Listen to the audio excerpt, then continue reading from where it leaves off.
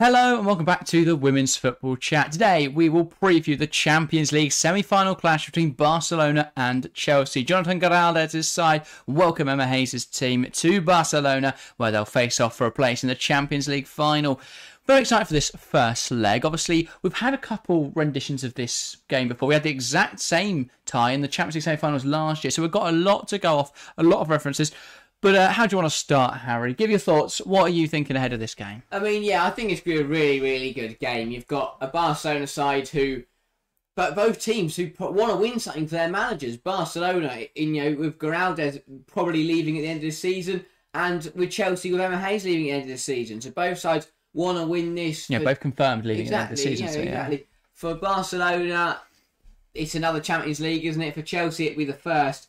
It's going to be a really good game it, these two sides have locked horns a lot in Europe, you know, over the years. Usually it's Bar. Well, I say locked horns. Usually it's Chelsea do really well and then Barcelona stop them. But yeah, could I mean, that change this year? Say, let's have a look at those those head-to-head matchups. Then, of course, the first meeting between these two sides in recent history was their 4-0 loss, Chelsea, in the Champions League final of 2021. But that was a big moment because a lot of people looked at that game and went, you know, Chelsea are there. It's the first time Chelsea yeah. reached a Champions League final. They're there to compete and then four goals in the first 36 minutes and the game was done. Mm. So that was a big precursor of what's to come. Last season, obviously, Barcelona edged past them 2 1 on aggregate. That was big for Chelsea because it shows how far they've come from losing 4 0 in yeah. that final to pushing Barcelona all the way across two games of football. Yeah. Was a really strong step in the right direction. And maybe this year, who knows what we're going to get? Yeah, and I was at the first leg as well, and there were so many chances Chelsea had to score goals yeah. in that game. They easily could have taken that game. So that'd be really interesting to see whether having the legs the other way around could have an impact here. Because last time, obviously, the home leg for Chelsea was the first leg. This yeah. time, they'll get the home advantage on the second leg, which I think is quite quite crucial. I would say that it definitely has a bit of an advantage yeah. there. So Going to be very, very interesting to see. But yeah, head-to-head record. Chelsea have never beaten Barcelona before. Equally, they've only met three, uh, only met mm. three times. Uh, in terms of Bar- in terms of the Chelsea team, I think the one thing I would say is that Chelsea, what might not be obvious is I think Chelsea are stronger now than they were a yeah. year ago, at least on paper. I know their form in recent weeks hasn't been great, and we're going to talk about that in a moment. But bar Sam Kerr, the squad is better than it was a year ago because Millie yeah. Bright wasn't fit to play the first leg. She only played the second leg, I believe. So there's no difference there. She likely won't be available. Yeah, maybe not. So she will. You know, that's likely the same here. And I do think we look stronger defensively now with yeah. with Jess Carter and Brooklyn. They look like a more assured partnership, and with options like Maren Mjelde if she can return to fitness and Nathalie Björn again if she can return to fitness, uh, both there as well. They're different options for Chelsea. I think Kat Macario is an X factor. That's yeah. someone we didn't have last season, but she's been brilliant. The same with Aggie Beever-Jones. The same with Sjoeke Nüsken. So there's definitely mm. players that can step up for Chelsea who either weren't as good or weren't there a year ago. So it can be very interesting to see whether Chelsea are mm. indeed stronger. Let's look at form going into this game. This game though, because I've got a lot of stats that are quite damning for for Chelsea. Quite grim reading for Chelsea. Last five matches, Barcelona have won 5 1, 5 0, 3 1, 3 0, 2 1.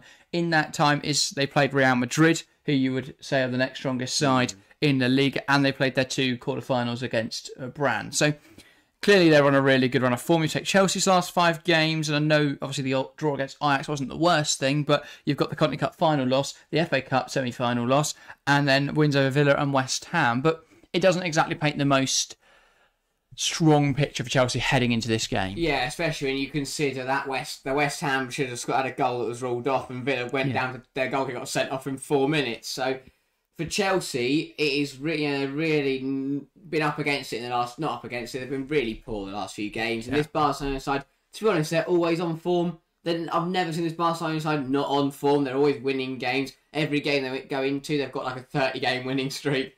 They yeah. are ridiculous. The way they don't. That's the thing it's not just a winning streak. They don't just get wins. They absolutely batter teams. As you said in there, 5-1, 5-0, three goals. You know, they score loads of goals. They concede very little. They turn teams over like it's absolutely nothing. Yeah. Well, Barcelona have won their last eight matches. They haven't lost in 32 matches, and they're unbeaten in 21 consecutive home matches. good. So it's very difficult to see Chelsea winning a, a, in the away leg because, as I say, Barca, as I say that Barca haven't lost in 21 home matches. That is a damning statistic. They've really made the Estadi Olympique Lyon, uh, uh, that's awful pronunciation, Louis, uh, Louis I believe, uh, companies. They've really made that a, a fortress. It's going to be very difficult for Chelsea. How different do you think the game is if Sam Kerr is fit? Is that a huge loss for Chelsea? Yeah, it's an interesting thing. I think that is a big miss, of course, but Mayra Ramirez could, you know, could be interesting. She's played Barcelona before, you know. Yeah. It's been interesting how, what, fact, I mean, I, remember seeing a picture of the side that played the, uh, the second leg last year, and I think Barker, Fleming, and Mjelde it is still the you know the same starting eleven really for Chelsea. Yeah. You know that have been and obviously Ann-Katrin Berger as well. Sorry, so four there. So a few changes, but I'd argue we're a bit stronger, I and. I would argue that some players have really stepped up this season, like Niamh Charles, especially Yeah. in the first half of the season, was really, really strong. I think Erin Cuthbert's had a particularly strong year. But talking on Sam Kerr briefly, then she's obviously five goals in the Champions League this season. Was the top scorer before she picked up her injury. Eight point four five average football rating is absurd. An average of sixty six minutes per goal.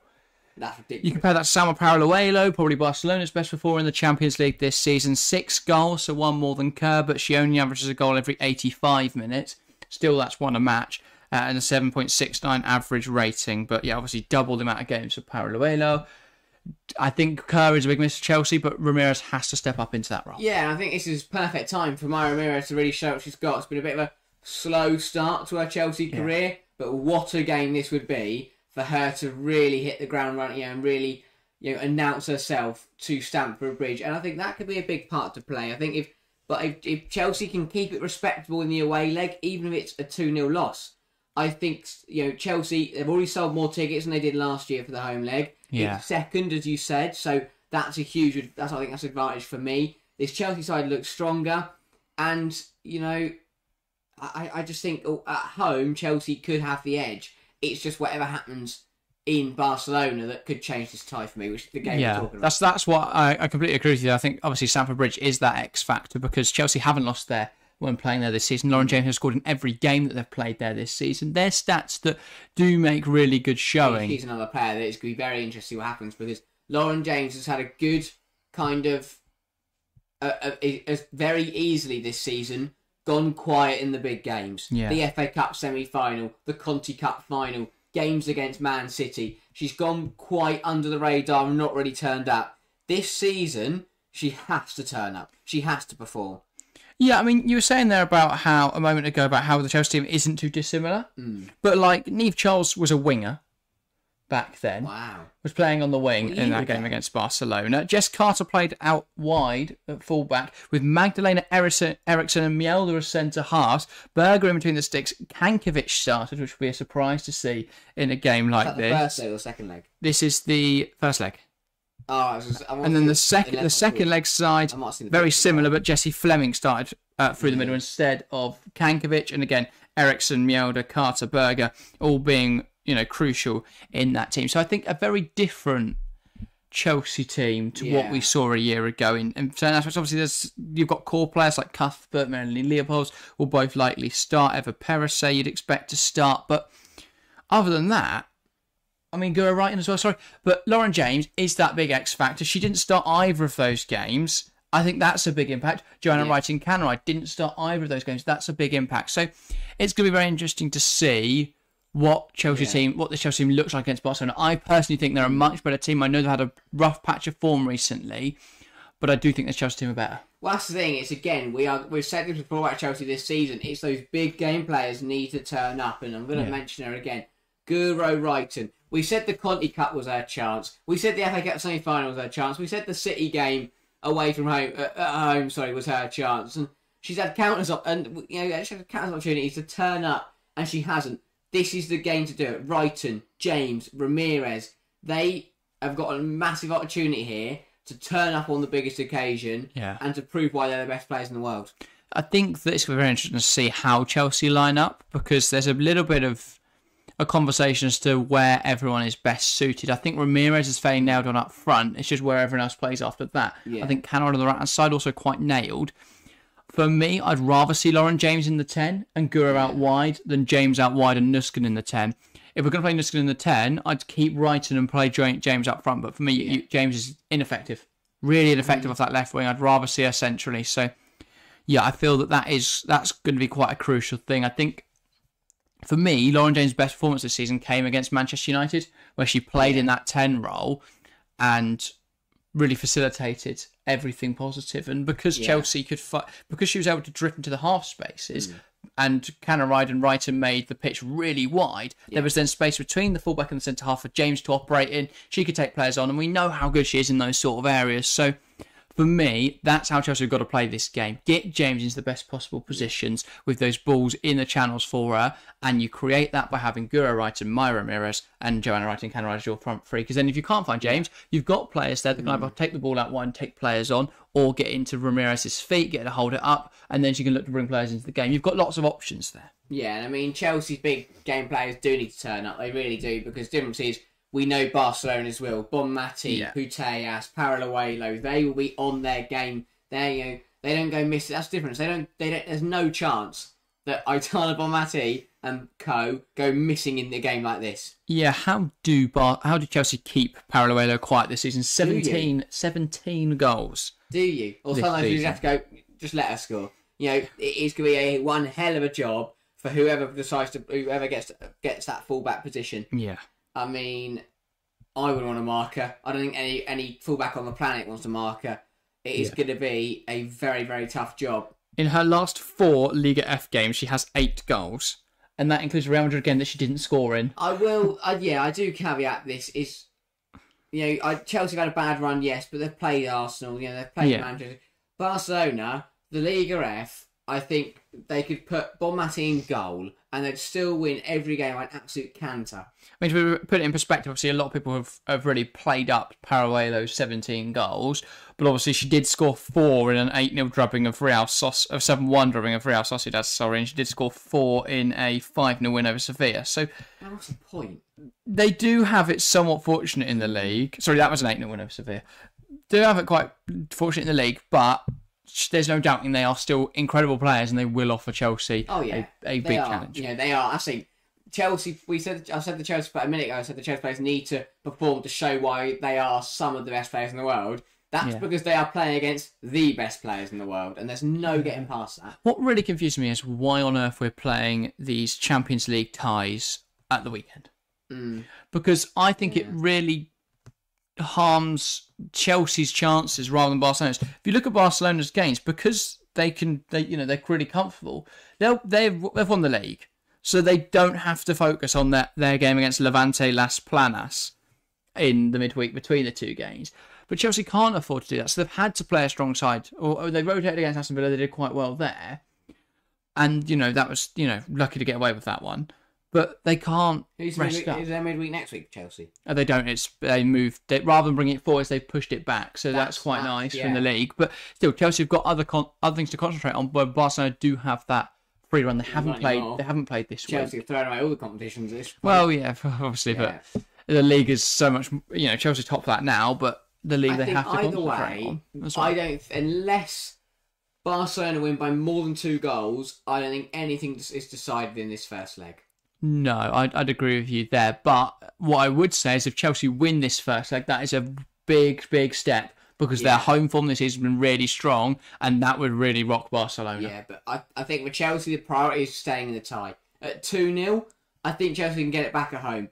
If we're looking at 3 0, 4 0, I mean, it's that bad. I, I, I was say, I don't think Chelsea should have any worries Yeah. about that. That sh- that shouldn't be the prerogative. I think Chelsea fans would be, you know, underestimating themselves it by saying that. Yeah, For know, me, just look at the Chelsea- I get that, but that's not representative. For me, Hmm. Chelsea are on the level to play to beat Barcelona. And I Yeah. and I don't think an awful refereeing performance against Manchester United and Emma Hayes' mismanagement against Arsenal really changes things for me. Chelsea's still Yeah, an incredibly strong team, and if there's one team that are able to put those setbacks behind them and focus on this game, if anything, I think it would give them more motivation. I think it'd be more motivation to go out there and give your best because there's nothing to. They've got nothing else to play for now. Yeah. They have to win the Champions League. And they if you- have to win the league. They're the two yeah. things they've got to do now. If you tell Chelsea, though, John, do I sell the Champions League? every single player in that team, coaching staff, whoever, will say Champions League. They want Yeah. Chelsea want this UWCL in Emma Hazley last year. Uh, I I do think that, ev- without a doubt, every single person involved with the football club would lose the WSL title if it meant winning this Champions League. Hmm. And, and and to be honest, I, this is going to sound mental, but I think this semi final against Barcelona will be more difficult than the final. I agree. I think the final could be really weird if Lyon and Chelsea are there. 'Cause that's just, because I, I have no idea how that has happened. But Sonia Bompastor, I mean, it's something we've not spoken about on the channel yet, and we will have a video out eventually. It's Yeah. just that at the moment we've got so much to talk about in the women's game. But I think that yeah, Son- Sonia Bompastor could be is pretty much you know guaranteed to be Chelsea's manager next season. May well manage against them in the final of the Champions League. That's a horrible weird clash. But uh, anyway, that's besides the point. Let's focus on today's game. Predictions for the match then tomorrow. Obviously, you're not joining us for the stream, but we will be live. I will be live, so join me from 12 o'clock on Saturday. We'll have 30 minutes to build up before the game kicks off at 12:30, so we can talk about everything ahead of kickoff. But Harry, what is your prediction then? You can do your prediction now. I will save mine for stream, so anyone watching, Um, tune in tomorrow morning. I am going to go. I, I've, I've had my, I think I've had my predictions sorted for weeks since the draw came out. I will go Barcelona 2, Chelsea 1. I think Barca will just nick it at home and it will set up a really exciting second leg. But yeah, I, I, I'm expecting. I think if Chelsea took the lead away, they'd probably hold on to it. So I think Barca will race ahead into a 2 0 lead in the early, in the early like half an hour and then Chelsea with 10 15 minutes to go will get a goal. And obviously in a normal game that wouldn't mean that much. But obviously with it being two legs that goal is going to be pivotal for the way that the tie goes forward. But yeah first leg for semi-final 2-1 Barcelona Fair enough. I like it. As I say, I will save mine for tomorrow. Do join us. 12 o'clock start. 12.30 kickoff. Barcelona versus Chelsea in the Women's Champions League semi-final. Games don't get bigger than this. So I'm very excited for it. As I say, join us tomorrow. The stream page will be on the channel. So go ahead, set notifications, leave a like, and get ready for this for the game. I'm very excited. Should be a good one this Saturday. But that's everything from us today. If you uh, if you want something to go and watch, then go check out our WSL predictions. If you're a fan of the WSL, we did that earlier in the week, and that'll be on the screen here, so you can get get all our predictions ahead of this weekend. You can see whether we got the Chelsea Aston Villa game right. Maybe. So obviously that game's already passed, but yes, go check that out and join us tomorrow live on stream. That's everything from us today. Thank you guys very very much for watching, and we'll see you next time. see ya